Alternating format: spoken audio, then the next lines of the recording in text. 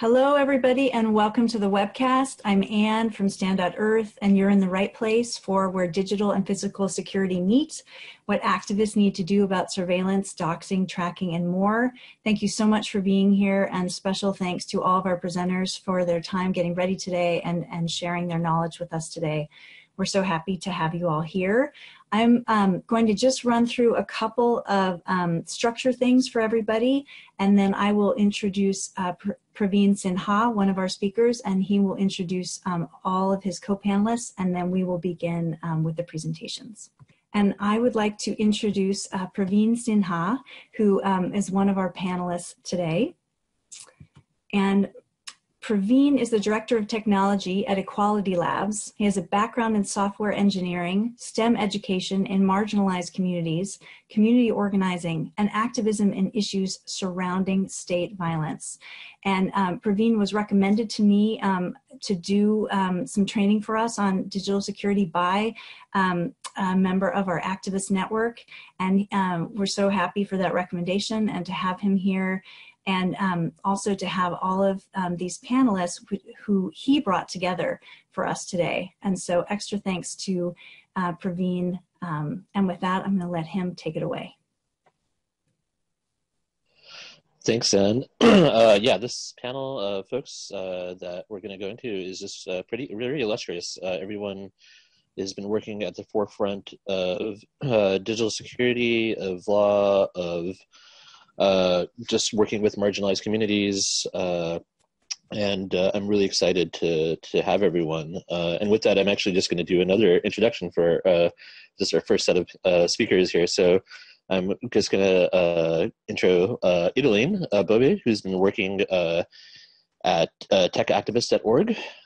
Bobé is a political educator and technologist. and she's worked at uh, the Global, uh, Global Social Justice Lead at ThoughtWorks and is a founding partner and former community uh, manager of Black Girls Code. So that's really awesome. Uh, and with her is going to be Alexis Hancock. Alexis is a security advocate at techactivist.org. Uh, and she's a passionate digital humanist and black feminist. And uh, she often searches uh, for solutions through her first love, which is technology. Oh, their first love. I'm so sorry if, I got the pronouns wrong. I apologize. Uh, and then Alexis has a background in web development, community organizing, racial economic disparity research, and education media.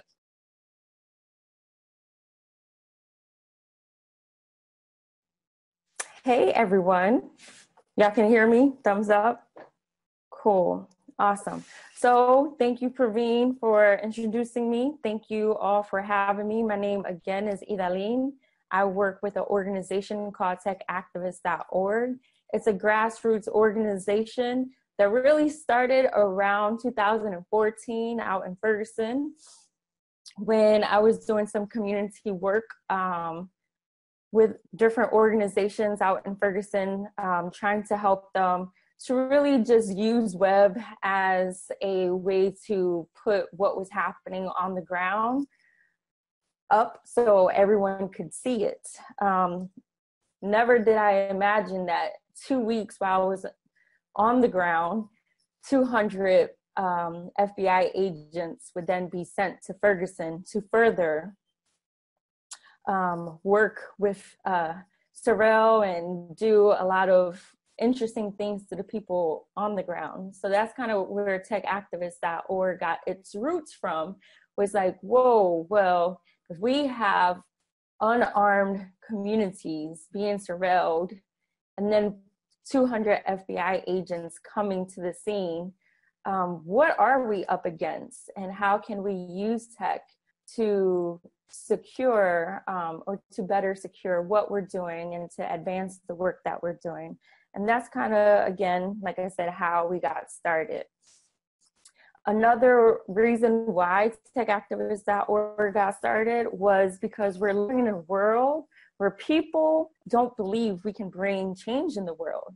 We believe that we can die for a movement, but do we really believe that we will see the change that we want to see? Not so much. People are more kind of like feeling helpless and hopeless and that's because for so long, the people who have the knowledge and the tools to do something about the issues in the world being exploitation, racism, sexism, um, and all these other issues, they didn't do anything. They just continued to create extreme poverty and desperate times. So techactivist.org is something that we wanted to to be a light while we're in this movement. It was actually inspired by the Black Panther Party. And interesting fact is 45 years ago, the Black Panther Party included the right to learn, access, and control technology as a right in their 10 point program. And it's called Community Control of Modern Technology, which is our hashtag. Um, Huey said, knowing how to struggle is the essence of winning. Recognizing ills is fundamental. Rec- recognizing how to overcome ills is mandatory. And that is why we believe it's critical for our people to understand the role technology plays in our society and in the economy. If we want to win, we need to know what we're up against. You're not going to go into a fight and prepare a fight and think you're going to be fighting against a teddy bear. Then you're fighting against a grizzly bear.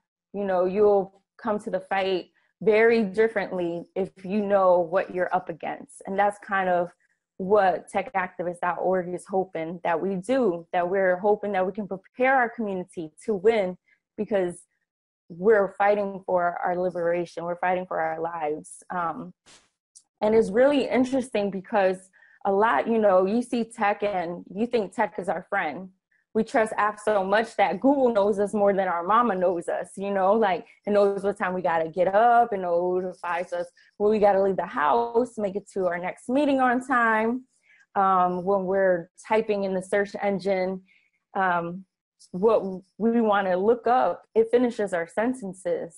And we think tech is this cute little thing that keeps all of our data in the cloud without really knowing that it's tracking our daily movements is tracking our daily lives and it's not in a cute little cloud. It's in a cold basement um, and it's being surveilled. Um, and there's so much more information that we need to know in order to prepare ourselves to know that silicon valley is not a friend to ours even though it has a lot of pr reps making media um, you know messages to stand in solidarity sometimes with us, it is not our friend. The CIA and the NSA were awarded in 2015 $52.6 billion in funding for non military intelligence. A lot of people don't know that a lot of tech and our communication devices really did get started by the government, such as the internet. The internet was only created when during one of the war wars, um, the U.S. got really scared. Like, oh well, if we get bombed, how are we going to communicate? So they created the internet, um, and many of our apps have seed funding coming from the government, and that's why they're able to easily surveil us to turn on our microphones or our video cameras, even when we didn't give them permission to. So tech activists likes to just kind of provoke really thoughtful conversations by bringing in elders such as Sister Elaine Brown, former chairperson of the Black Panther Party, um, and having her talk about what is state violence because surveillance is because of state violence um, and what is the roots to state violence and having that amazing black political thought, radical thought to bring in so much history really helps us to prepare and to create a strong strategy for today. And then as we're talking about strategy, we get to techactivist.org explores different apps or tools, tech tools that we're using today that people may, people as an activist may not know about. Um, so we bring on amazing people like Alexis Hancock, who is the security advocate at techactivist.org, to talk about Signal, to talk about Thunderbird, and different tools, such as she will explain more when she goes on. We only have a couple of minutes to kind of talk today, but definitely hit us up anytime. And there's a little chat box um, for you if you see in the bottom of your screen that you can send us messages on any question as we're talking. So at the end, we can answer that. So I'm going to just move forward and have um, Alexis kind of talk more about encryption and different things. Thank you. Thank you, Idalin. Um, can everyone hear me well? Yes, you sound great, Alexis. Okay, great. Hello, everyone. So, as Idalin said, that I would talk more on encryption and more on, I guess, having more hold of your data and tools to use while you have all this data within mostly in the smartphone realm, but it can also cross over into your devices such as laptops and personal home computers, desktops at home. But mainly, I'll be speaking to um, smartphones themselves. So, Idalin brought up a good point about Google and all these other companies that we sort of use every day and feed data into. So, one of the first things I want to talk about is encryption. So, encryption um, can be a vague world, and usually when people talk about encryption, they're talking about you know concealing. So, I want to talk about that main point where encryption it doesn't necessarily stop interference of your data moving or stop interference of someone trying to access your data but what it does does what it does do is conceal your data from being human readable and that's the whole point of encryption. No matter you know what you study within it what algorithms you know don't know that's the main point of encryption. So encryption can come in many ways and many forms and also access to your data can come in many ways and forms. So Idalin brought up Google and how kind of, you know, it knows so much about us. Um, because we sort of came into this point of time with technology where everything's being streamlined together, especially within our smartphones. Um, with you know our credit card data, payment data, data, um, our social media is being integrated with other platforms. A lot of data has become streamlined these days, and the danger with that is now only a few hold the main process of our data. So they, they hold the main infrastructure and data in the database, like a centralized form of what does, you know, for instance, me, Alexis, have, like she has these many credit cards, she has these many Gmail accounts. She, there's so many things that are not split up anymore and they're streamlined. So in terms of encryption and, using on your phones and texting, uh, Idalin mentioned Signal. Signal is a very good tool. There are other encryption tools out there in terms of texting, encrypting your um, text messages um, on a one-to-one basis.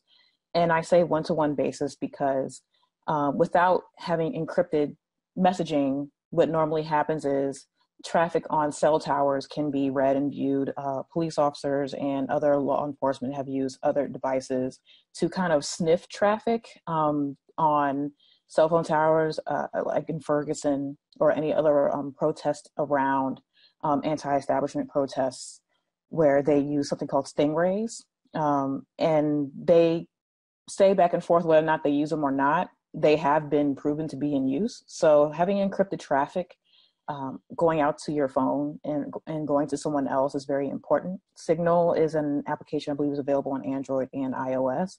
Um, also, aside from traffic and what data you put out there into the world, it's also um, good to know about things called like two-factor authentication when it because we talk about a lot of um, we're really excited about availability of data, right? And that was the whole point of Google. That was the whole point of Facebook. That was the whole point of all these integrations was this availability. But there are two other facets of security called confidence and integrity. So confidence and integrity has been heavily eroded over the years, and we can see that now with the news with Facebook.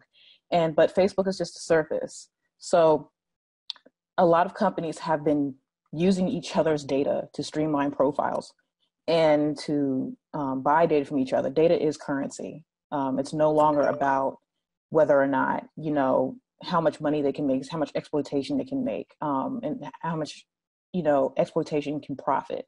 So other phones and like Android, Google has a lot of permission, loose permissions. Android has a lot of loose permissions.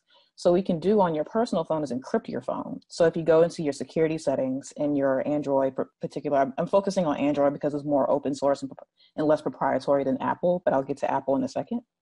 Um, Android, they have an encryption feature on your phone. So that's another thing with actual smartphones themselves we've now come into a process in time where, you know, people are now leasing six hundred to thousand dollar phones where you used to just be able to buy a phone or receive a phone for free. some something of that nature where you're able to actually afford a phone and own it. Um, now, manufacturers like Apple and phone service providers are coming together to almost take away that ownership of these phones. And now, what happens to that data now? It hasn't gotten to that point where they say, okay, you don't own this phone, you don't own this data, but it's creeping there. So, over the, over that point in time where you have a leased phone, um, a lot of people are are tossing out phones each year now. Um, a lot of e-waste because, sorry, because of it. So when you have something like that, going on with these phones, you need to know how to dispose properly. So encrypting your phone and then being able to reset the factory data before you give your phone back is something you're able to do now. But now that people are leasing phones, what, what, who's to say that these manufacturers and phone companies won't say, "Oh, we'll take care of that for you. Don't worry about it." That can get into a dangerous slippery slope. But I'll refocus on what you can do for now. And encrypting your hardware on your phone or encrypting the data on your phone is very important.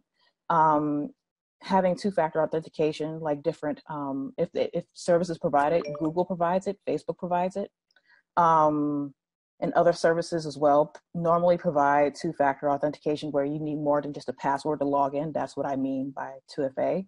Um, also, um, I'll post a link here in the chat of different tools that I won't be able to necessarily cover. Um, I'll post it here. Um, tacticaltech.org has many toolkits and many um, links and resources overall that you can use to be able to um, navigate what type of phone you have. So they go over iOS, they go over Android and other devices you may have. Tor browser is a good um, browser that they have out there where, oh, I see a cute a question here. Um, but overall, being able to encrypt things, being able to um, use different tools, they list that there. Um, if you have more analog phones, because a lot of, I know a lot of activists may not necessarily invest in the latest smartphone or may have a phone on the side that they necessarily use just for their um, activist use. What normally happens when you have more analog based phones that are not typically smartphones, uh, overall, you can have, you know, I guess a more, uh, your cell, if your cell phone is not smartphone based, it's less associated with your profile. So you can take um, investment and um, you can take solace in that where, you know, this number itself, you, you can keep protected. But now that you, a lot of people have smartphones um, and being able to use it out every year and throw it away every year, um, overall, what you need to do is just kind of take inventory of what you have and what you don't have and who you're contacting, who you're not contacting. Awareness is very important. I think overall with owning a smartphone. Um, capitalism, uh, I don't want to get into much of a soapbox about it, but capitalism itself is a security vulnerability. I've been saying that for a long time. Um, we've seen it now with a lot of companies using um, greed as a factor to use our data and being able to um, make profiles based on us and make money off of us.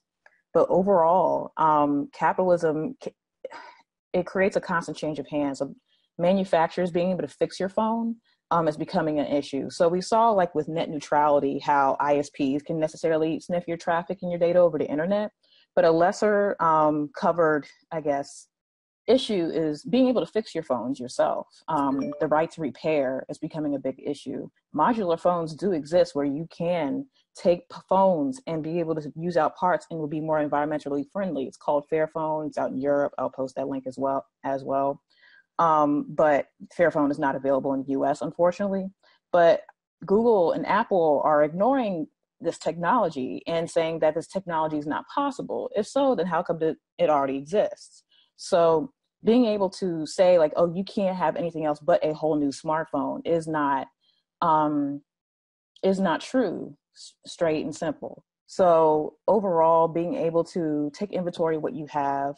Um, I'll post another link here. Um, a good um, factor for choosing a new phone, um, especially in terms of being able to handle it yourself, would be going to places like ifixit.com in terms of, and a good question, I would say a metric for getting a new phone is how am I able to replace the battery? How easy it is to replace the battery is a very good question because it starts to go into the um, rabbit hole of what kind of manufacturer you have in your phone. Will the company let you replace the battery easily? Do they charge an insane fee um, or a really wild fee in order to actually replace this? It becomes um, a good question to kind of branch out and talk about your data and talk about who owns it and who owns your phone um, and talk about overall um, how capitalism plays a huge part in this. So encryption, um, two-factor authentication, um, tools like Signal, browsers like Tor, um, Keybase is another, uh, I guess, pseudo social media type app that's also using encryption. Um, mostly these uh, tools can are based off something called pretty good security pgp um, so having pgp keys a little harder to explain um, off brief but overall i'll post those links as well um, uh, to talk more about pgp and pretty good security keys where encrypted traffic is based mostly on that um, tool set so overall those are the things where you can do a turn about encryption. If you go for android someone asked about android um, if you go into your security settings on um, and go into settings, you'll see something about security. And it normally takes about an hour to actually um, encrypt your phone to make sure it's charged or on the charger um, while you encrypt your phone, because normally it takes a little while to process all that data and truly encrypt it. So when you go through that encryption process, make sure you have time and sit down with the phone and be able to actually let the phone do its thing. So overall, um, having other um, alternative tools while you browse. Uh, I use DuckDuckGo for search. I've gotten away from the lexicon of using saying Google it. I don't say Google it anymore. I say search it because there's other search um, engines out there like DuckDuckGo who don't store your search data for more profit and more availability to what you're searching um, for the most part right now. So um, I say go to tacticaltech.org because they list all those tools. Um, there's so many I could list, but those are the main ones that I know I use. I also use VPN for my traffic going outwards um, uh, for data at in um, transit. It's another facet of security. So using a VPN over public Wi-Fi, um, I suggest don't use public Wi-Fi at all, um, just because I don't trust it at all. But overall, I could talk about this all day, but I'll go and I'll hand it over very soon but overall, um, having a VPN or um, virtual private network for your Wi-Fi is very important. And in places where you can't, or in in other things you can do that are very simple, is if your device is not in use and you're going to sleep, turn data off, turn Wi-Fi off. It turns all the network connection off to your phone. Um, I turn off my Wi-Fi every time I close my laptop. Um, I take out the Ethernet cord. I do whatever I need to do if I don't need access to the device, I cut off access to the device overall on the network.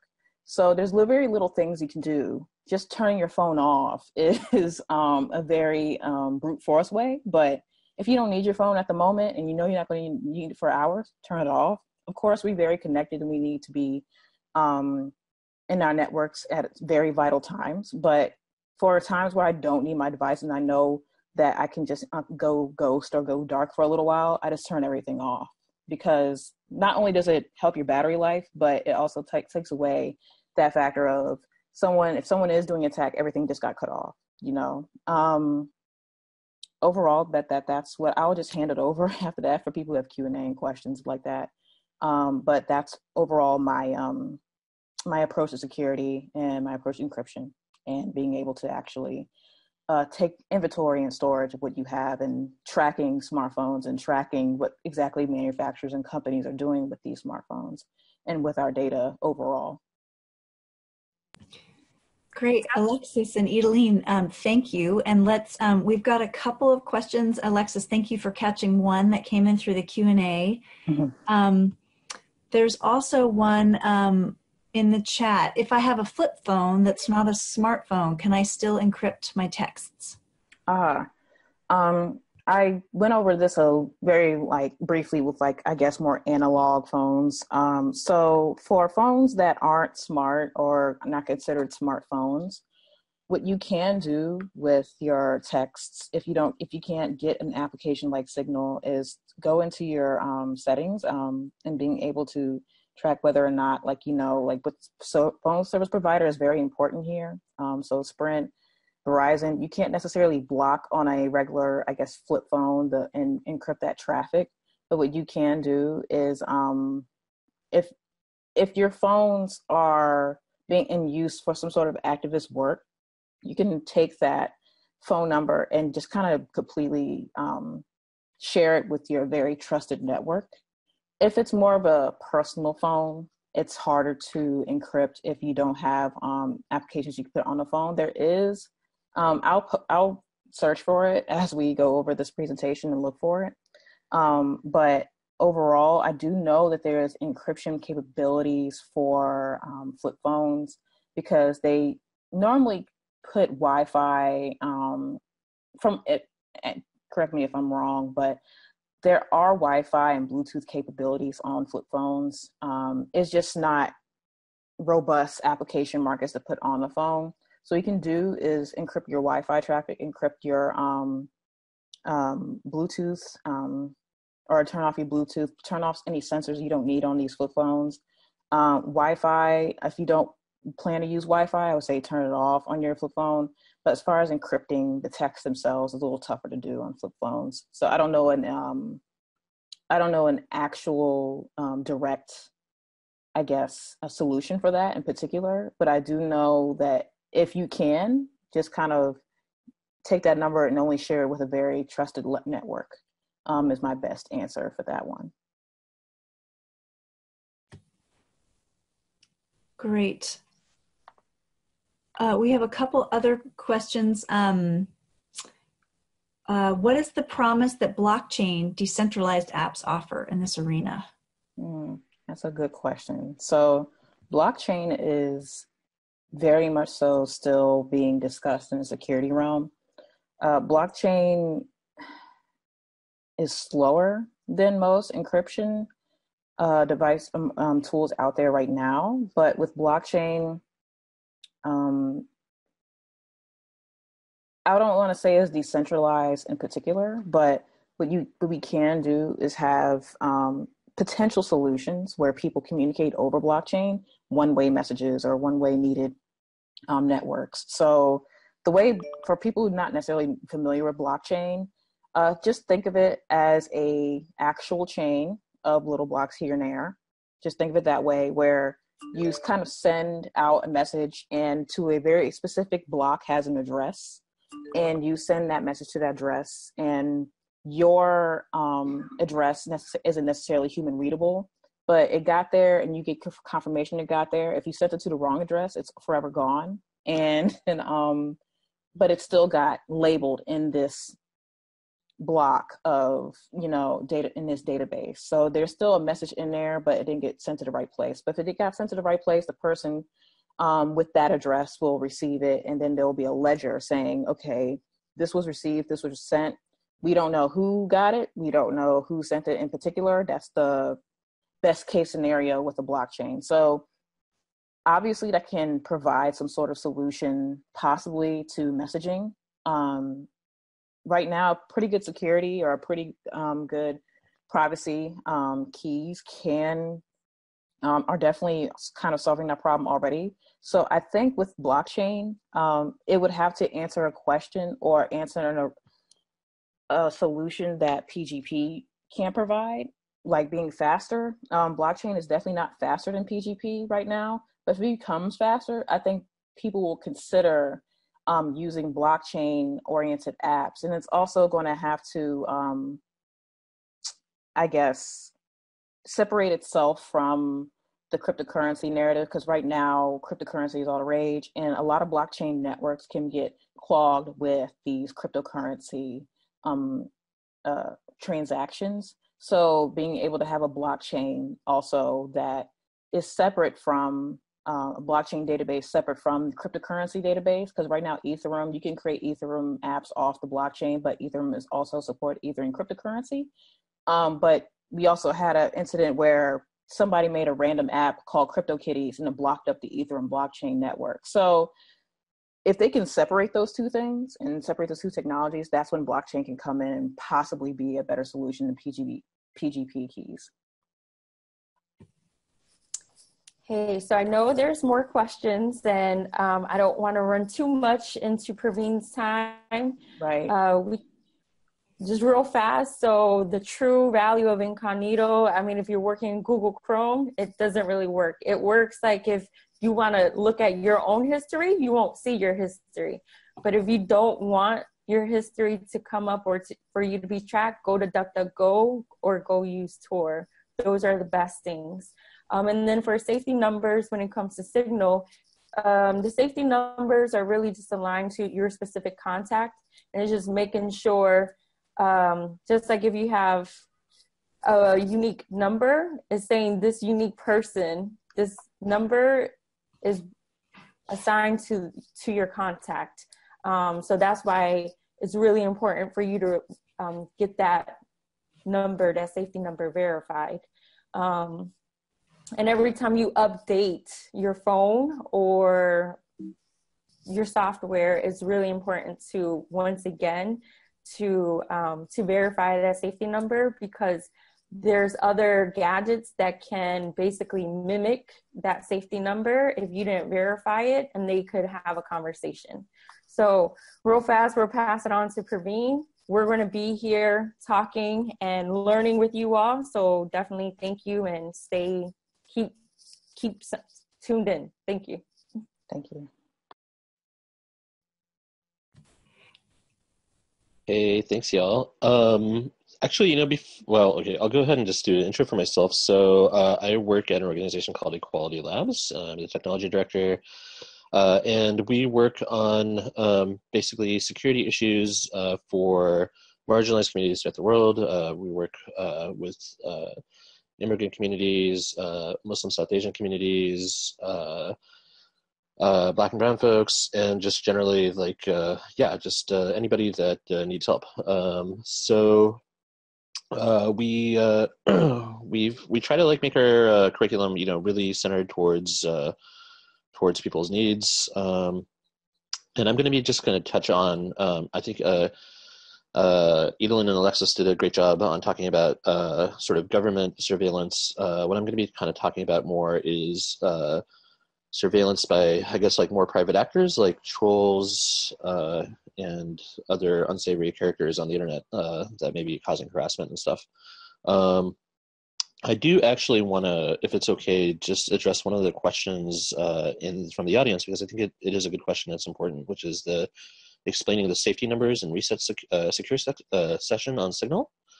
Um, so, what that is briefly is that when you're communicating over Signal, uh, the line is encrypted, but uh, it's it can be vulnerable to what's called a, a man-in-the-middle attack. And what that means is is that somebody may be hacking uh, the connection in the middle and pretending to be somebody else, uh, and that's a common problem in sort of these encrypted networks. Is you need to be able to like authenticate and prove that who you're talking to is really who you're talking to. So what the safety number is is that uh, when you're using Signal, uh, you can go ahead and uh, basically confirm that the safety number is the same uh, for both parties and both sides. Uh, and what that means is that uh, if they are the same, then you know that you've established authenticated line basically between the person that you're talking to, and, and you know that that person uh, is the person you're talking to and that there's nobody in the middle listening, basically. So uh, most people don't use the safety numbers, but if you are in a very high security situation, like I highly recommend that you uh, um, verify those safety numbers before continuing a conversation.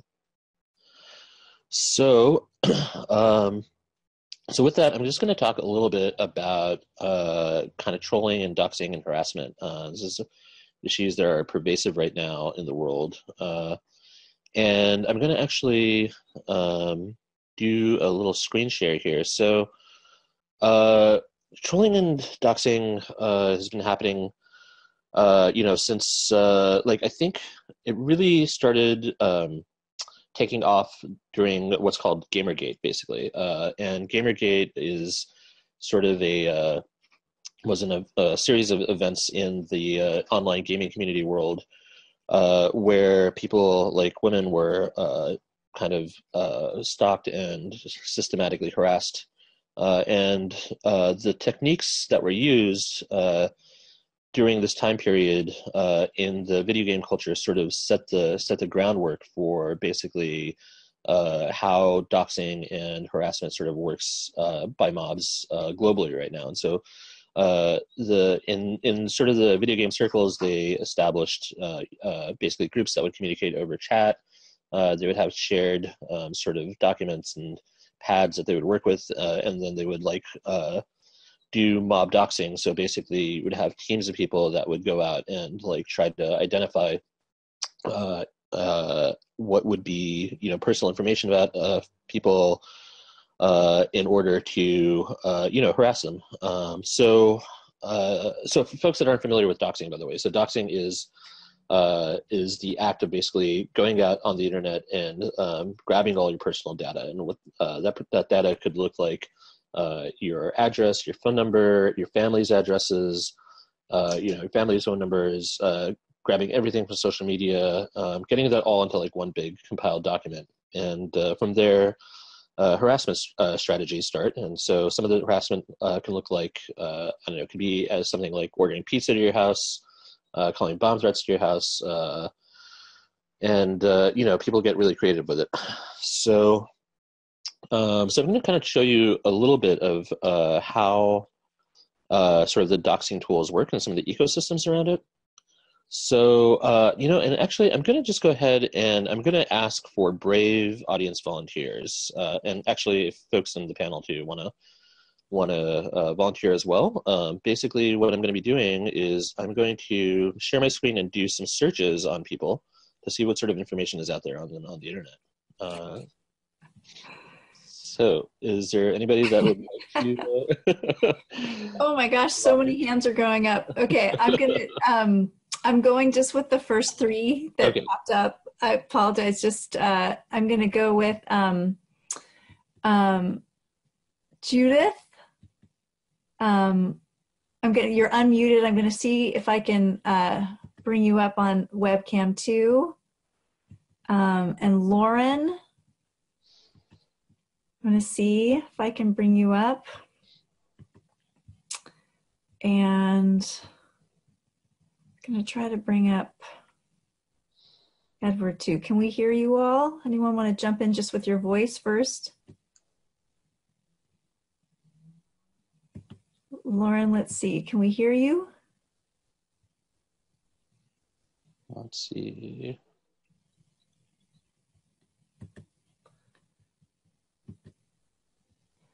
Let's see. Should be letting you all speak. Oh, here we go. I need to do a second thing. Okay, Judith and Lauren. Okay, Lauren, I'm going to unmute you. Sorry about that. That's all right. Hi, Lauren. Lauren, we should be able to hear both of you. And then I'm going to see if I can uh, go get one more person. Praveen, while you start, this is very exciting. Okay, great. now, can you all uh, see my shared screen here? Yes. Great. So I'm going to a website called Spokeo, and what Spokeo is is it's a data broker, and this is one of hundreds out there. And these data brokers, uh, they monitor you, uh, and they look at your utility bills. They look at uh, your addresses. They they capture. They actually buy information from uh, from a variety of sources. Uh, and this isn't even like Facebook. This is just your data trail that you leave behind in the physical world, and they collect uh, dossiers on you basically and sell that so, Lauren, I'm going to ask you is uh, just uh, would you give me your full name and how you spell it? L A U R E N R E G A N. R E G A N, like that? Yeah. Okay. so let's just do a search. And uh, can you tell me which state you're in? Oregon. Oregon, great. Scroll down and we'll look at Oregon. Okay. And Lauren, sorry, Lauren, do you want us to bring up your webcam or would you rather just do voice? voice is fine. Okay. And uh, Lauren, so which city do you live in? I live in Eugene. Eugene, okay, so. Oh, really? Okay, so uh, is this you here? The. Yeah. Yeah? Okay, so let's take a look here. Uh, so is the, is it really so, uh, so just basically through a public search, uh, we have like your photo, Uh, it looks like is this your landline here That's and your house address? It's your house. No, that's Uh, office. Oh, that's your office. Okay. Old office, I should say. Okay. Okay. Still out of date, I guess, right? Um, okay. So that's good. That's great. Uh, but um, All the way back and, to are these are these your relatives though? Yep. Yeah. So, um, so when folks are, and here's your LinkedIn profile. So this can get pretty. Um, oh, great! And your kind of organizational history. eventually, but it's not urgent. Okay. So, uh, so yeah, Lauren. So, uh, um, so we can see here that uh, you know, um, just through a casual web search, uh, we can actually find out a considerable bit amount uh, on you. And so, uh, the Spokeo that I'm using is actually a twenty dollar paid account. So, uh, so some of this stuff you won't see on the free version, but the free version does show your family members and your address. Um, and uh, I know we have another volunteer too. Uh, maybe we could get the next person, um, and I'll do another just search sample search. You bet, Praveen. We have um, Judith, Mara, and Maya, and I'm going to um, bring you up in that order. Okay. So I'm going to un- I've been muting people in between just to cut down on background noise. So Judith, let's see if we can hear you now. Judith. Judith, can you hear us? Okay, maybe we'll come back to Judith. Okay. Let's try um, let's try Mara. Hi, am I unmuted? Yes. Oh, cool. Okay, I'm in the Chicago area. Okay. S- I So, also have a question at the at the end about uh, doxing and um, some of the things that might be done. I'm a national organizer, and I'm just curious about a couple weird things that happen. sure. Um, so, Mara, uh, can you give me your full name, and I'm going to run you through another one of these. Uh, um, Sure, good. It's Mara M A R A Cohen C O H E N. Okay. Uh, let's see here. So, uh, let's. You're in Chicago, Illinois. It's actually Skokie S K O K I E. That might bet, get more hits. Oh, okay. S K O K I E, like that. hmm Okay, let's take a look. I can't see very well, but I believe it's the second one down. Oh, okay. You know what? Let me go back to the Cohen. I think I just messed up the uh, screen, maybe. Here we go. So, That's a dapple picture. It's me. I couldn't Yeah, see it yeah. very well. Okay. so yeah. So, uh, so we can see here uh, again that uh, this is a free public search. Uh, you're a regional organizer at Move On. Uh, it No. has your no. I was a long time were- ago. Okay. Very much not anymore. Uh, again, okay, good, good. Um, but this this is uh, and then uh, it looks like you uh, maybe have some family members. Yes. Yeah. So I make sure they have pretty old information on me, I think. I'm interested to see this. Looks yeah, yeah. So there are a number of strategies. and, uh, there's a number of strategies to try to mitigate some of this stuff. Uh, but uh, oftentimes, folks that we work with uh, maybe like getting in the media or they're, you know, for some reason there's getting a lot of attention drawn to them, and so Mhm. uh, we there's also methods to scrub and opt out of these uh, sites as well. So, Oh, okay. um, so uh, Mara, did you say you had a question though?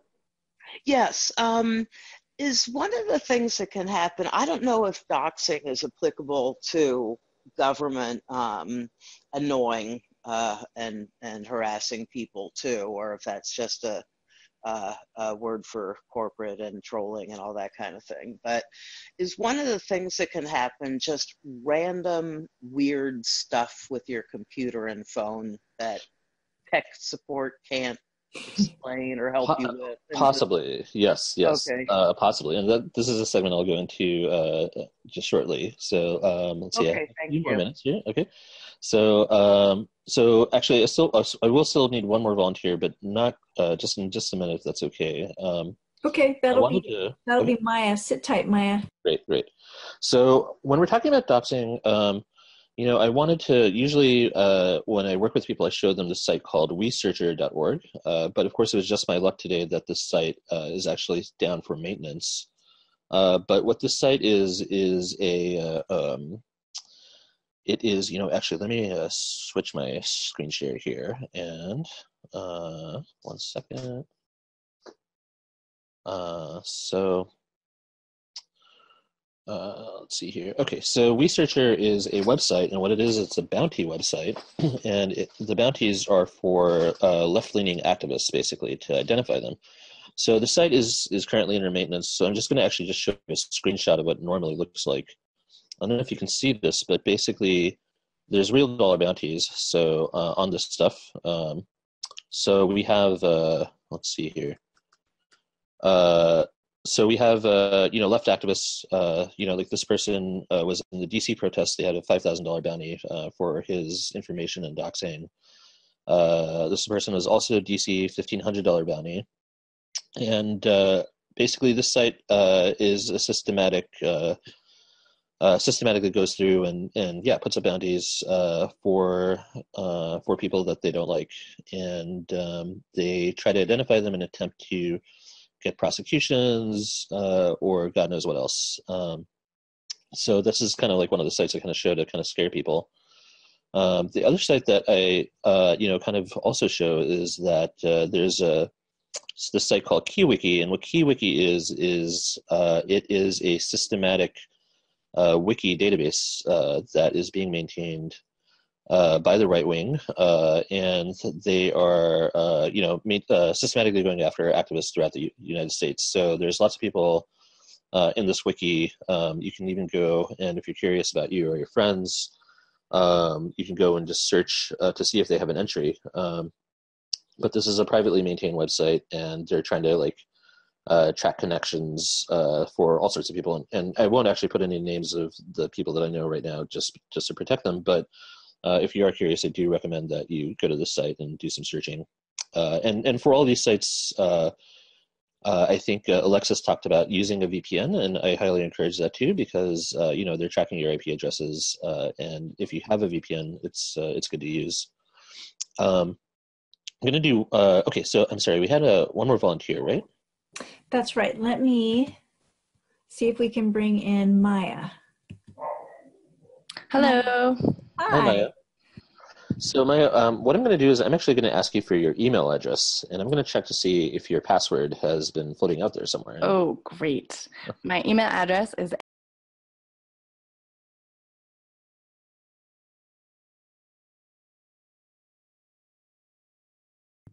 So the site is called Have I Been Pwned, and what it is is it's actually a pretty good service that is tracking uh, to see who where your password has been breached. Um, so it looks like your breach, uh, you do actually have a breach from 2017. Uh, basically, uh, this data, it's not going to show you this data for this particular breach, but uh, there was this River City Media breach, uh, which has leaked email addresses, IP addresses, names, and physical addresses. Um, I'm just actually going to go ahead and just search for myself, just to kind of show you uh, there is for all these breaches there's actually a very active community that trades passwords uh, and these passwords uh, are indexed in these files called uh, pastes basically. And uh, i'm just going to show you you know for my own uh, breaches here uh, just through the site that i don't know if i can find a good breach here. Um, show you that you know every time you see something in the media that oh this site's been breached that site's been breached uh, there's a very active uh, commercial ecosystem that uh, you know both trolls and hackers and also governments uh, will actually buy. So there's uh, you know people will buy a list of like ten thousand passwords for like uh, you know like for a hundred dollars. So um, I'm just trying to find one of these pages this is open. Okay, so I'll just search for my personal email address in here. Uh, it's still loading. Okay, but so for example, so you can see all these email addresses. This is one of my old uh, passwords. I've changed it, but this is a good practice to always keep your passwords separate and keep them uh, rotated because you can see here that uh, uh, you know this is my email and your password, and you know you're probably on a list like this somewhere. Mm-hmm. So uh, it's good to use a password manager if you can, uh, and to actively rotate out your passwords uh, you know, every few months. Um, and uh, so let's see. I think I'm running up on my time. Uh, let me just uh, go ahead and uh, I guess like stop there and uh, just see if there's any uh, any questions. Oh, okay. Uh, let's see here. Uh, okay, so what I'm seeing is for some reason my chat is waking up. Okay, so okay, lots of questions here. Okay, uh, so password managers, yeah. So uh, in terms of password managers, uh, I think the one that I, I personally like the best is uh, 1Password as, a, as far as a commercial manager goes. And one of the good things about them is that they're also signed up to these password breaches services. So it will actually alert you which accounts uh, are getting breached. Um, so that's a really useful service. And it costs about, I think, around $10 a month. But if you're doing high security work for an organization, that's a, that's a pretty good cost to absorb. Um, some people like, you know, justifiably so, don't like giving their passwords out to anyone. Uh, and so there's a system called KeePass, uh, which is uh, all passwords all stored on your hard drive and encrypted on your hard drive. And uh, that's a good solution for techie folks. Uh, but the thing you got to keep in mind is, is that if you, you know, something happens to your hard drive or if you lose your master password, then you're really locked out of all your accounts. So you got to have a disaster recovery plan uh, in place for that. Uh, and you know, in other conversations I've had, uh, some people don't use password managers; they just have uh, some sort of algorithm in their head uh, to create and generate passwords. And and I think that's actually a pretty valid approach as well. Um, if that's something that you can maintain, and you know, you can make sure that you can rotate out and keep the passwords fresh. Uh, that's also an approach to use as well. Um, let's see. Another question here uh, is uh, okay. VPN. So I mentioned VPNs while visiting KeyWiki. Uh, so, uh, are there other precautions to take while visiting these sites, or are these sites otherwise unsafe to visit? So, yeah, um, in general, um, so I showed you WeSearchr and KeyWiki. There's other sites like 4chan and 8chan, uh, and those sites uh, you can think of as like pretty much like active hate sites uh, where they plan what they call raids. Uh, so if you go to 4chan uh, and slash uh, slash POL is the political board, where uh, there's a very active uh, community that's looking at news and trying to dox people. Uh, going to those sites, uh, I definitely recommend uh, using either a VPN or Tor browser. Um, and I think Alexis talks about Tor browser. Uh, Tor browser is slower than a VPN, but in some ways it's also more secure in hiding your identity. um, in terms of other precautions, uh, I think I think just for visiting the site, uh, that's that's fine. Tor Tor VPN should uh, should protect you. Um, and let me just check on time. I think I'm gonna have to pass it to Ken, right? Yeah, Praveen, I think that's the best thing right now, but we'll see if we can circle back. Um, these are really great questions coming in, and I appreciate all of the speakers um, who have been offering answers um, in the chat and in the questions and trying to get to everybody.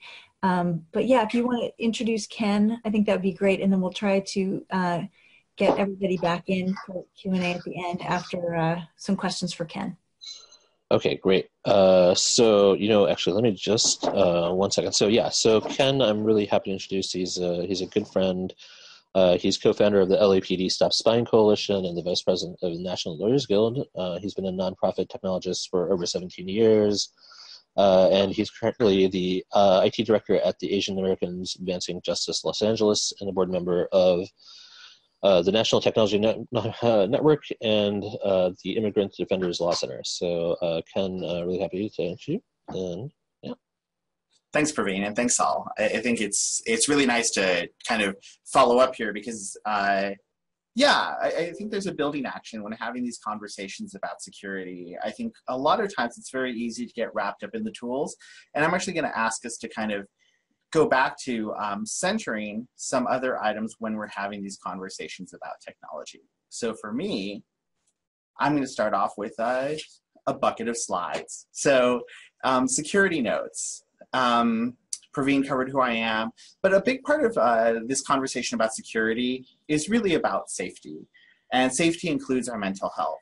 So oftentimes when we're talking about security solutions, we have we create this like culture where people freak out, where it's like, oh, you need to like, blockchain will do this, or like, oh, like X, Y, and Z that. What you need to do is like build the best Rube Goldberg machine and that'll keep you safe. And the reality is that I'm, I'm a big fan of if we kind of center this on people, then we can identify solutions that will actually stick. And uh, if a solution will stick, then we have a greater likelihood of actually creating security culture. And, and it's a slow process, but I'm really glad that there are a lot of organizers on um, the um, call on the webinar today.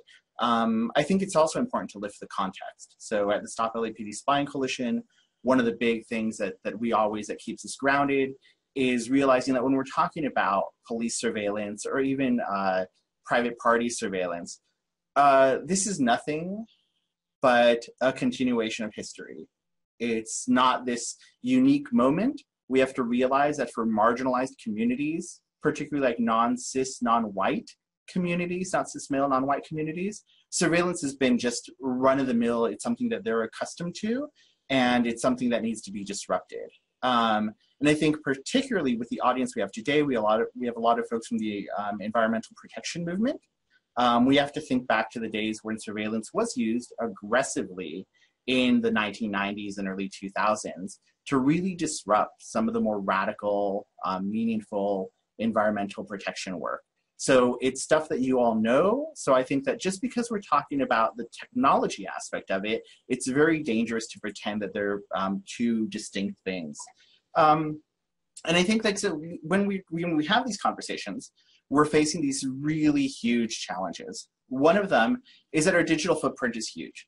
So if we take a moment and we like look at our phones and we look at all the pictures that are on that phone, and we're like, wow, if this was a photo album, each one of us would need like a personal archivist. We would need like tons of storage space, like physical storage space, photo albums, etc. And yet in the digital world, that's really invisibilized. So how do we kind of remind ourselves of the digital artifacts that we're leaving? I think there's also a challenge that technology is largely designed by non-activist white people who are trying to figure out how to get like venture capitalist money and all that other hot mess that makes the world horrible. Um, so there's very little technology designed for mission-driven or social transformation. Um, um, groups, organizations, whatever um, iteration or, or, formation you want to call it. And that's, that's a huge challenge because the way that uh, we look at the world generally within this side of the house is we're not hoping to like monetize the 50 users who sign up for something. We're hoping to build relationships with them, et cetera, and to hopefully move the needle um, in a positive direction or in a more like just liberation oriented direction, hopefully. And so another factor that we're facing in, in movement driven work is that there aren't a lot of technologists in this world. Like more often than not, the technologists are parachuting into your world, telling you here are like some five solutions, go ahead and do X, Y, and Z, without actually breaking bread with you and building with you. And how do we kind of disrupt that as well?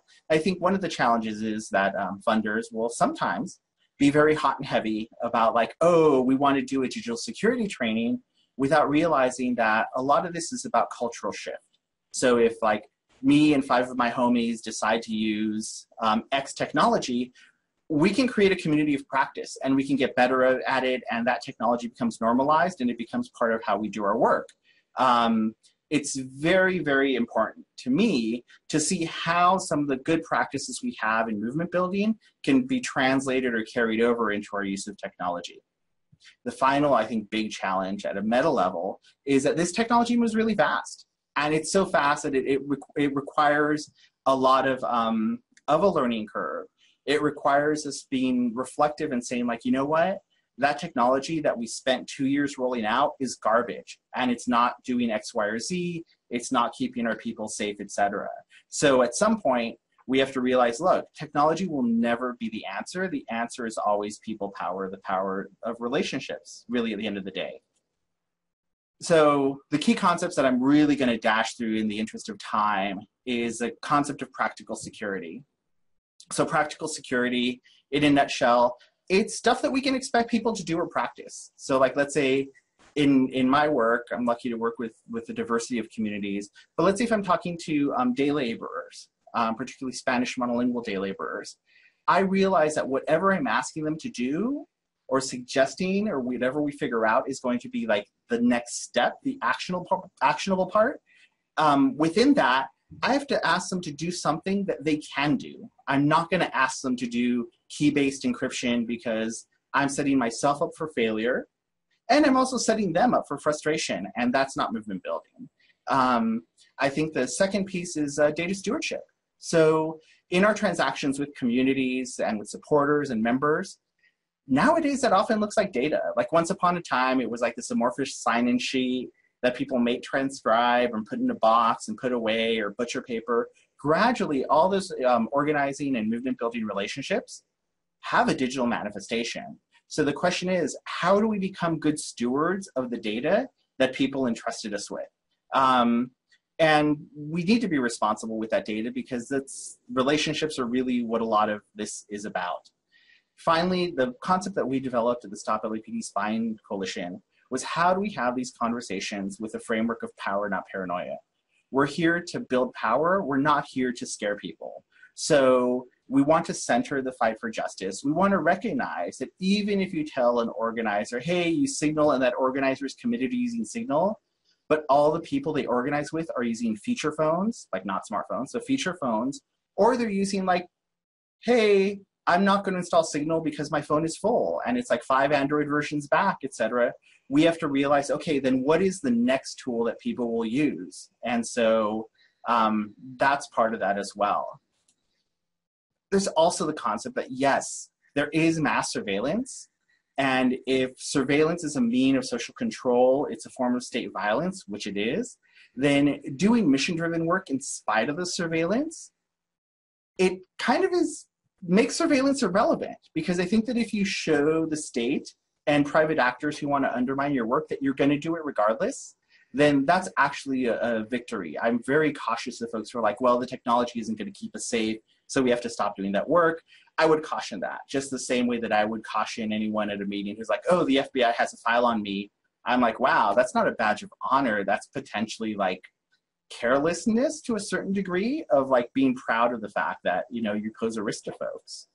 Um, so let's go back to point one. So in networks, so I'm a, um, by training, a system administrator, so like computer networks, that type of exciting stuff. And so in a network um, diagram, and this extends to human networks as well, we're only safe as our weakest node. Um, so like, let's say when you're playing like, or when you're keeping secrets with your friends, a lot of us have friends who are like, oh, I can't tell them because as soon as I tell them, that's getting out. Similarly, in our security work, we realize, oh, this person has bad technology practices and we have to figure out how do we incorporate them into our work or exclude them from our work for the sake of um, security and safety. Um, I think that's very important and it's very difficult because if we are going to incorporate them, it means that we have to invest time in training people. It's really quite simple. Either we bring them along or we leave them behind, and I'm a bigger fan of bringing people along rather than bringing leaving people behind. Um, and so these small steps could be, you know, I'm going to help my homies set up two-factor authentication. They don't need to understand the math or the cryptography behind it well, math is cryptography. But um, but yeah, all they need to know is like, oh, this really is like a safety net in case your password is compromised. Um, the second thing is white supremacy is super real in tech. So if you look at the people making money off of technology, the people who say that technology is the answer, um, a lot of them are hella white and a lot of them are really invested in oppressive power structures. So it is somewhat delusional to believe that our salvation will be in technology our salvation, assuming there is such a thing, is really within each other. And so within that, I think that there is an invitation here to start to consider the tools that we use. That whenever there's the possibility of using an open source tool, we should try to use an open source tool because not only is it developed with a community um, perspective and input, and even if that community is more largely white, et cetera, da, da, da, da, it's substantially better than private tools. The other thing that I would also invite folks to do, especially with the um, penetration of Office 365 and G Suite, Google Suite for nonprofits, is to consider that those products actually have better privacy protections than free Gmail. So free Gmail and other free services, you're really the product. With G Suite and with Office 365, if you're using like the donated versions for nonprofits, there's a greater degree of protection and there's actually centralized administration, which I think are, are really good. And the movement needs to figure that out.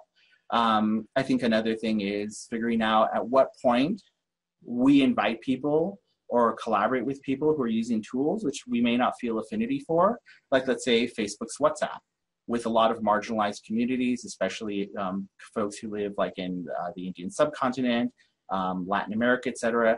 You can't take WhatsApp away from them because that's the only way they connect with their families. But you can tell them, hey, don't turn on the backup feature because then it's just sharing all of your data um, or creating a potential data hole. So once again, we're in it together.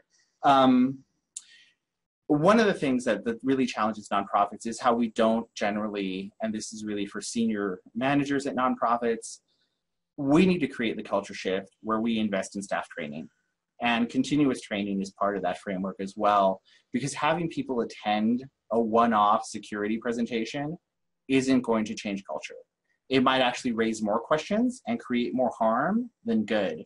Um, it's also an opportunity to build relationships with folks. So successful trainings usually entail a accessibility, but also giving an opportunity for people to build a community of practice. Uh, and the person in that photo is Buenaventura Durruti, and Durruti said, I believe, as I always have, in freedom, the freedom which rests on the sense of responsibility I consider discipline indispensable, but it must be inner discipline motivated by a common purpose and a strong feeling of camaraderie.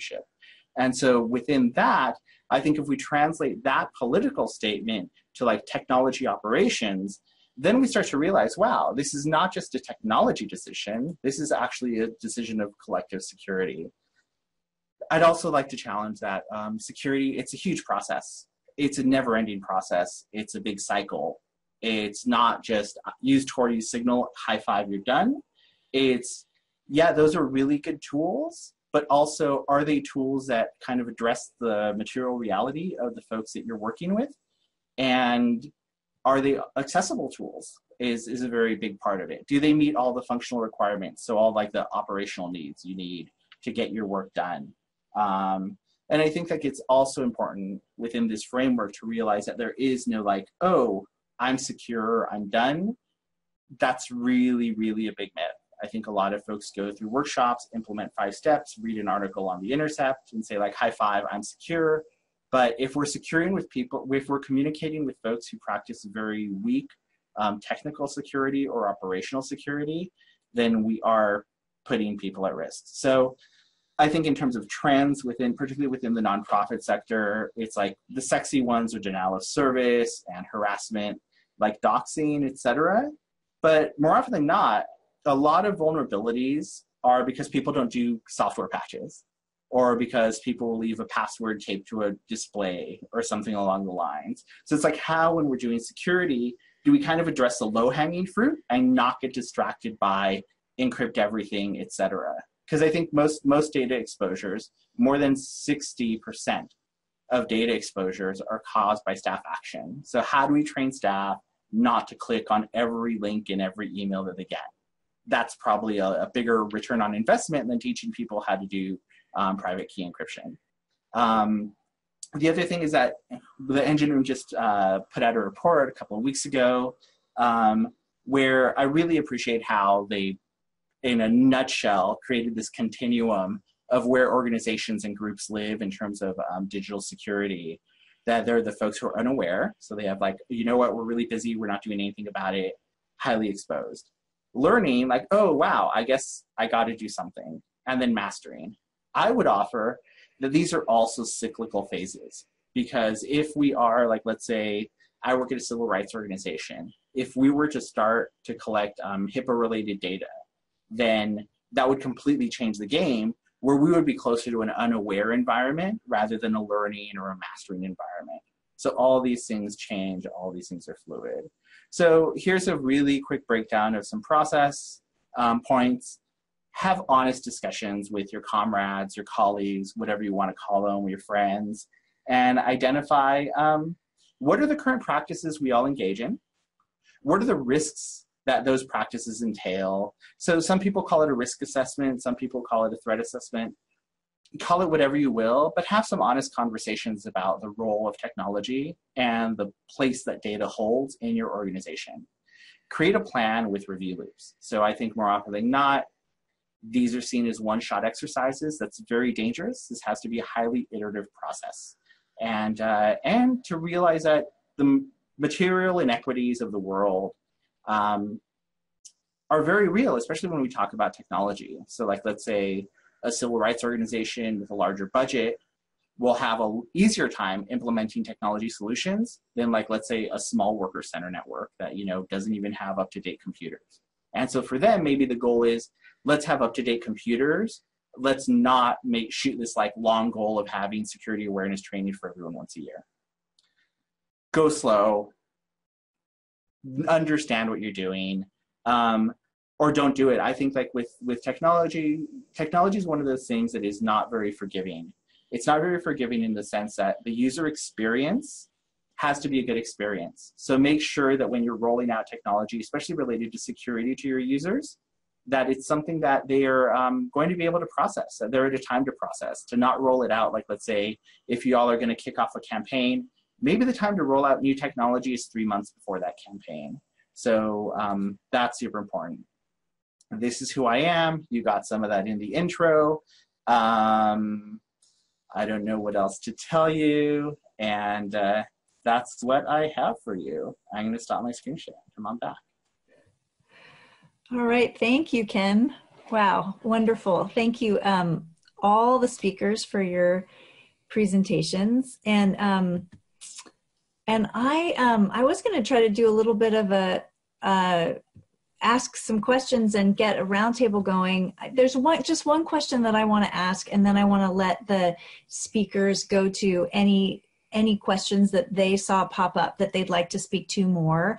Um, I just want to ask about, um, uh, Alexis, this was something in your presentation. You talked about sniffing, and I'm just wondering if you can say if people are sniffing data. Can you tell us a little bit more about what, what that is?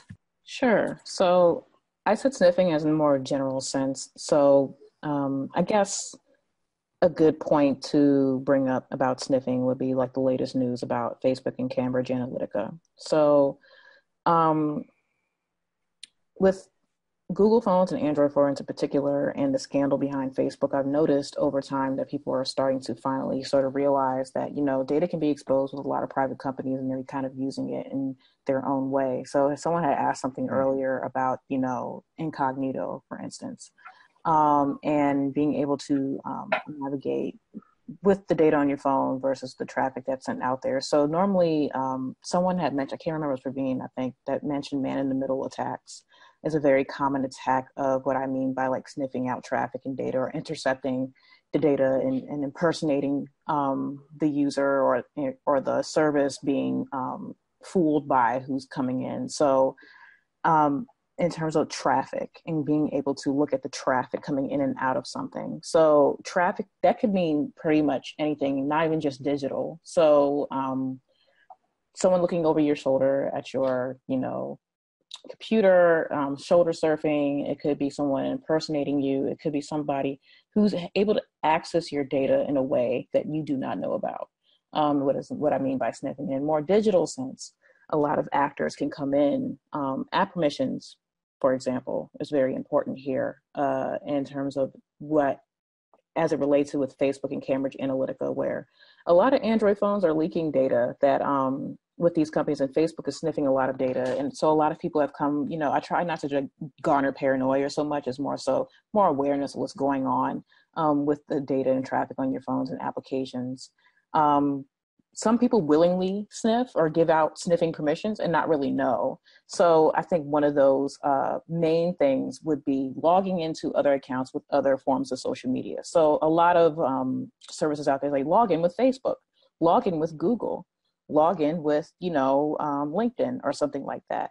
Uh, that's like willing app permission right there of being able to sniff through your data on this other platform because instead of just logging in with your email and whatever information you put on the platform now you can now that login that's interfaced with facebook or google can see your entire profile with google and your entire profile with facebook and now they have that extra set of data along with your email along with your username along with your password um, sniffing can come in many ways so i think about just mostly with trafficking and like what's going out of your phone, what's going out of your accounts, and kind of being cognizant of app permissions there and being cognizant of how traffic is coming out of your devices.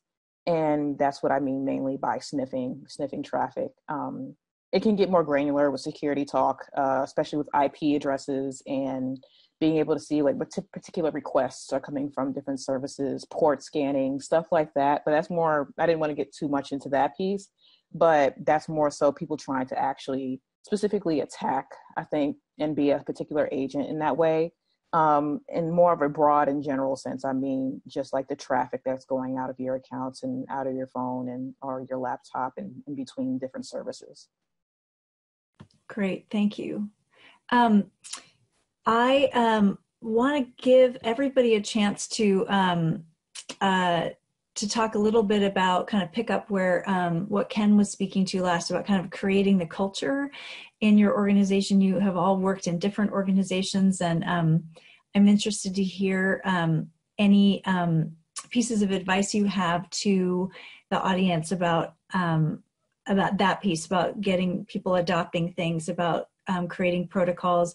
And just a quick note so I don't forget yes, I will assemble all of the awesome suggestions for different sites and tools. Um, and when we send the link uh, to the recording, we'll send those also. And I just wanted the people, our brave volunteers, to know that I will not include um, on the screen during the recording any of your personal information. I'll just bring up the welcome slide or something else during that. So they'll hear that that Praveen was seeing things like your address and phone number, but that won't show up. Okay, just a couple quick notes in case anybody was worried. And then, um, yeah, a little more um, conversation about creating the culture within your movements and organizations, I think would be terrific. Anyone want to jump uh, Sure. so, I mean, in terms of security core culture and adoption, it's um, it's something that is really organizationally specific. Um, there's not really uh, like one way to go about it. You know, if you're uh, working with, um, I mean, if you're working, if your organization does a lot of work with like undocumented immigrants, uh, if you have folks that are crossing borders, like you're facing a whole set of different security challenges than if you know um, your organization maybe just uh, I don't know uh, just doing uh, community outreach. Uh, I or you know um, uh, or you know like if you're uh, if you're if you have somebody that uh, again is is very uh, if your organization have folks that are very visible um, in the public sphere then that uh, presents a completely different set of security challenges. Uh, and so a lot of this is like overlapping and then a lot of it is like i think the conversation has to really be like a back and forth because you know a new like people that are like very new in uh, security oftentimes they're like oh we have to take everything off of google drive. We have to you know get to adopt all these tools and uh, you know these this tool adoption can get like really expensive and, and it kind of kills you know the organizational flow. So it's really about like having a conversation assessing people's vulnerabilities and and picking the right uh, right tools that i think will keep your workflow going and, and really uh, i know what other folks think Yeah, I'll I'll bite. So um, I've been working inside of nonprofits for over 20 years, and I think that's that's a uh, and usually as the lead technologist in nonprofits, and I also do contract work outside. I think for me, it's really really important to figure out where management fits into this. So I think management, even in alleged um, horizontal organizations, um, if management identifies um, security, be it physical or digital, as a priority, then that's where it all begins. Um, I, I, think that more often than not, it's um, organizers or line staff or whatever we want to call these roles are usually charged with like, hey, be more secure. But if it's really, hey, this is another piece of work that you need to handle, but without there being a good policy framework, then it's a recipe for disaster. I think a good example is some people will like roll out password managers because they heard password managers is the way to go. But if you're not using like, and that's one of the reasons why I recommended LastPass. LastPass actually has very good enterprise integration. So if we want to roll out LastPass to someone on our communications team, we can do that. And we know that all those credentials are still part of our organization as opposed to people having their own little buckets and silos that are super secure, but not really um, useful for organizational purposes. So I like to say that security, if we look at security in a usability continuum, it's kind of like a doorway. You can have a doorway without a door, super easy to go in and out. But then you can hang a curtain there, kind of creates a barrier. Then you put like a door that just swings open then you add lock to the door and before you know it you have like one of those new york city doors that has like eight locks no one knows which one is actually the one that's locking and sometimes it's just unlocked and it's just for theater. So i think figuring those things out organizationally are super important. And the business process like praveen said i think figuring out how do we implement security that doesn't um, disrupt the organizational workflow especially in mission driven work because at the stop lapd spying coalition it took us, in spite of being embedded in this work, it took us three years before we had our first digital security training because we were committed to do this as an organizing piece of work, not as a look at us, we're kind of secure. Because once again, there's the illusion of what does that even mean? Um, to add a little bit there, I like um, Ken's point of like utilizing humans um, within the organization and because a lot of security talk is um, the weakest link is the human factor or the human error. And I think for organizing, organizing, we all learned that you know humans are our greatest asset in terms of being able to properly organize. Uh, I think something to um, add here with organizing, and especially with people, if you have constituents, is access. Um, especially with marginalized communities, technology just sort of happens to us depending on who exactly has access to create these technologies. Like now we're hearing all these buzzwords blockchain, machine learning, AI. And a lot of these um, models, and AI is just decision making, by the way. Um, don't let these buzz, buzzwords scare you. Um, AI is just decision making at a high level. Um, machine learning is just a mass amount of models and data sets. Um, a lot of these things sort of happen to us because the people who create it have these large biases. Um, so I think uh, it's not so much a solace, but uh, a key point here is that the people who create these things aren't they don't make perfect technology to perfectly attack us. And they don't make perfect technology to perfectly hand we can always point them out. Um, at techactivist.org Idalin likes to um, you know talk about counter surveillance in a way. And it's kind of like keep tabs on the people keeping tabs on you. Um, and having this human factor of being able to be cognizant of what's going on with you, your organization, and all the, I think um, Ken mentioned earlier about like threat modeling or risk assessment or something like that, uh, being cognizant. Um, just even if you personally write down like, okay, these are all the things that, you know, uh, with that I have with accounts. These are all the things that I personally have with my credit cards. These are my bank accounts. And you kind of just write it down like, okay, these are all the things that I have that are personal and sensitive to me and then you kind of talk about it at a, in a way in a larger scale in an organization okay these are the things that we have and these are things that are important to us. So kind of going towards those points of being able to assess and evaluate what you have at your organization what you consider sensitive at your organization and kind of focusing around that first. Um, taking everybody off one tool and putting them on another can only do but so much if people aren't really cognizant of what's going on, what's happening. So having that proactive conversation and not a reactive conversation and and not being so much um, b- being scared of the buzzwords that come around with AI and machine learning because the people who are creating this have very, very um, limited imagination. And I think in organizers have the, the biggest imag- imagination for what society can look like.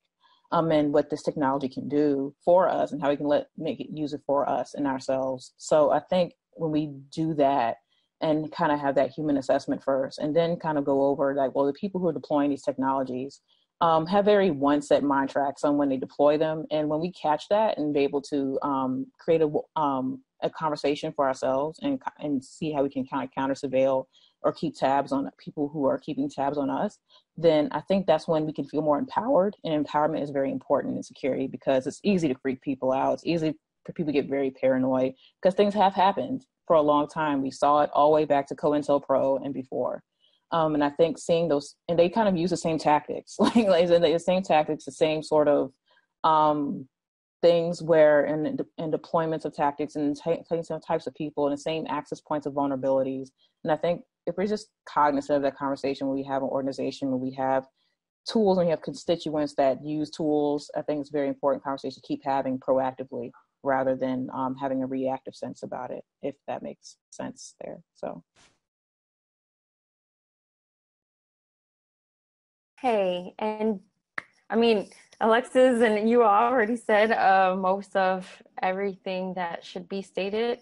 Um, one thing I just wanted to add is um, learning tech is super intimidating. So one culture should just be about being able to learn and to ask questions. And that is really, really healthy.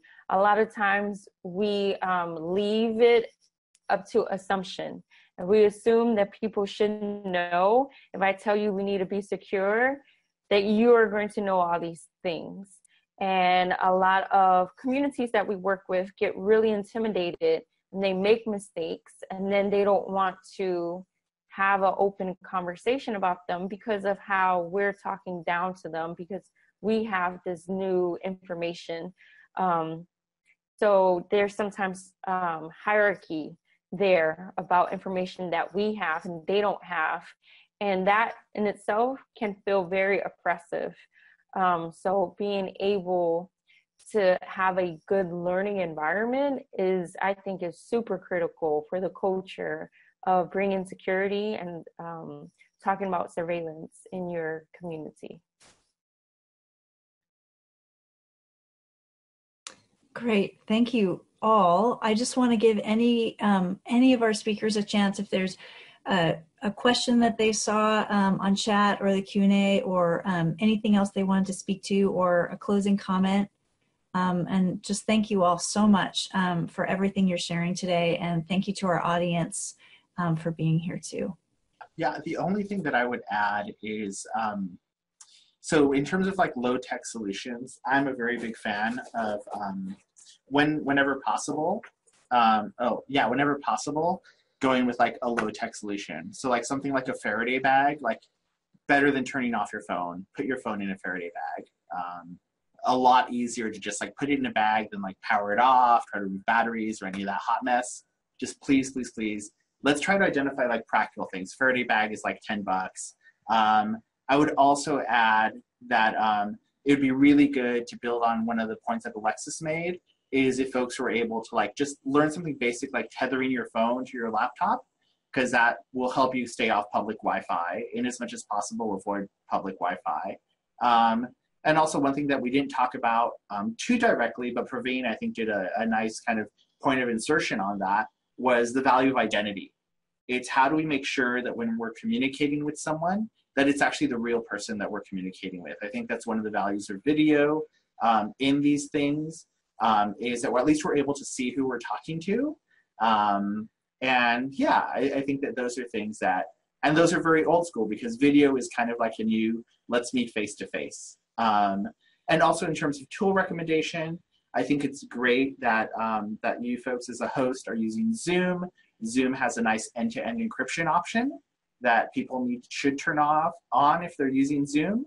Uh, but there's also Jitsi, which is open source. So there are a lot of like kind of like low lift tools. Um, Idalin, Praveen, they're like super, super big resources and, and comrades in this. And yeah, let's let's do this together.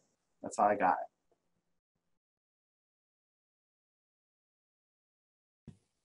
Anyone else want to jump in with a closing comment? A closing comment that I have is don't be afraid about tech. And I read this comment talking about when techies try to explain shit like, yo, ask the tech person mad questions. If they don't know how to answer, it's because they don't know what the fuck they're doing.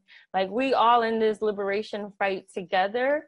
And when I learned how to read and write, that didn't mean I was going to be an author. It was so I can move and be able to be functional in society. And today we need to learn about tech and we need to know about digital security.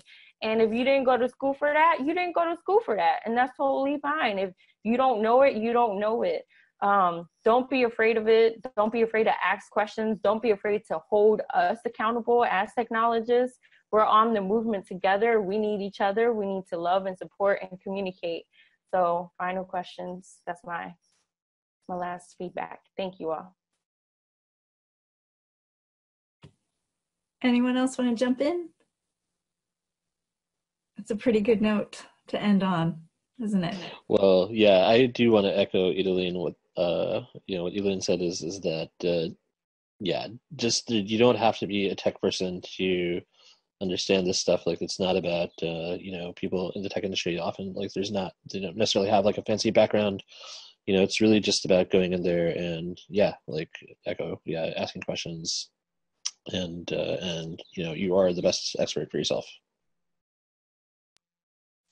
And I guess to add to that piece for a closing comment, um, get to know your devices and your tools. Um, you don't necessarily need to be, you know, taking your laptop apart and digging through everything. Um, but knowing the components that come with all your devices over time can help a lot in terms of what needs to be fixed um, on a very practical level. Um, not just, you know, fixing your cracked screens, but also like, okay, what is a processor? What is a hard drive? Very little things that you can just take in once at a time. You don't have to do it all at once. This is an ongoing process. There's still parts of machines and stuff I, I don't know with laptops and you know cars and stuff like that. I've started integrating more technology. Um, overall, being able to get to know your tools and devices. You know, Android is a operating system, not a phone. Um, stuff like that where you can start to get those little details in and sink them in. And just like one a day, or if you're more interested in learning, there's definitely open source courses like Coursera.com or edX.org or Udacity, um, which is more, I guess, web development oriented. But overall, um, if you are interested in learning, there are a lot of free resources out there um, let, let's not let capitalism make it seem like all this technology and all this knowledge is just for them and people who can afford it. There is now free tools out there. I share free information all the time, especially on my Twitter. Um, I also um, share resources for um, local organization and meetup groups that talk about, you know, building your own ISPs and stuff like that, internet, internet service providers, making a mesh network. And, kind of, and you don't need to know everything when you come in a room that's another point of this is knowing everything because we all don't know everything but we can learn from each other. So that's what i'd like to close with. Great. Everyone thank you so much. Um, thank you to all the panelists and i look forward to getting this information to um, the audience members. And um, yeah let's let's take good care of our, ourselves and each other and thank you all for giving us a lot of good uh, advice for how to do that. Thank you all. Thank, Thank you. you, everybody.